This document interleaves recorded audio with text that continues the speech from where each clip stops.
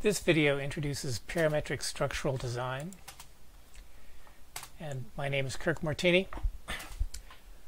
The primary goal of this course is using computational tools in de design, specifically parametric geometry and structural analysis. So the course centers around the Karamba analysis uh, package that runs within the Rhino Grasshopper environment. Uh, we use automated tools uh, eventually in the course of member sizing and optimization methods. We employ the Galapagos component in analyzing structures. And the subject of the course is pedestrian bridges um, for a number of reasons. One is pedestrian bridges have a very direct connection between the structural scheme and the visual architectural qualities of the bridge and also they're simply easier to model uh, than buildings and there's a lot of sort of tedium involved in, in all the different load cases in a building and pedestrian bridges allow us to get at these issues much more directly. Uh, the methods, this is a project-based course. There are no exams in this. There are homework and lab problems, but they're all oriented towards being prepped to completing projects.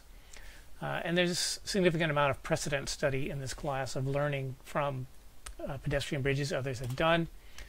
And these are some examples of projects that we look at. And there's quite a variety of structural types uh, and analysis types uh, in pedestrian bridges. It's kind of a rich field. The project, main project for the course will center on a site in Charlottesville. This is the site of the uh, bridge at the uh, Charlottesville Skateboard Park. This was built a couple of years ago in Charlottesville. It uh, connects a parking lot to a uh, skateboard park. It's a substantial bridge has about 130 foot span, about 40 meters. And we look at ways to approach this. The bridge that's there now is quite a utilitarian bridge, and it's an interesting proposition to think about what would be a bridge that would be more architecturally fitting to that site and to that purpose of connecting to the skateboard park. Uh, and there's a lot of interesting forms that the skateboard park uh, suggests.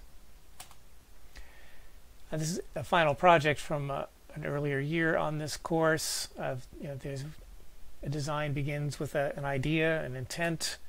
As students develop a structural model um, to look at the various aspects of strength, stiffness, and stability of the bridge. Uh, apply optimization tools to develop and refine that design further. And then also develop an architectural model that, in addition to dealing with structure or fitting with that structure, um, looks at the materials, the railings, abutments, all of those architectural visual features, and it all needs to fit together. And that's the primary purpose of the course, to bring these technical concerns together with the architectural visual concerns.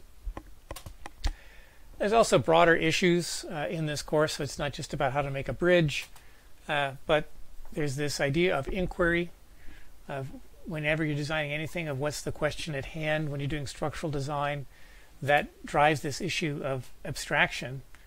And it's fairly common in the early stages of design. You may use a fairly crude kind of structural representation in your analysis model if you're trying to answer sort of basic figures of configuration.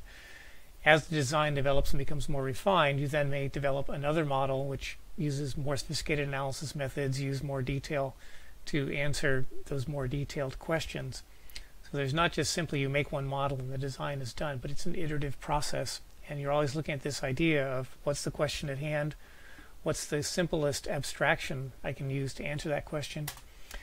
And there's also an idea of skepticism um, that we're doing these analysis, the computer's giving us results, and we shouldn't just believe things that come out of the computer. We need to have some skepticism and find reasons to believe them of, of hand calculations, of other means to do that, ways to check results. Uh, this is how errors are found. But we should never just simply believe things the computer tell us. We should always question them skeptically. So if that uh, sounds interesting to you, I hope to see you in the course.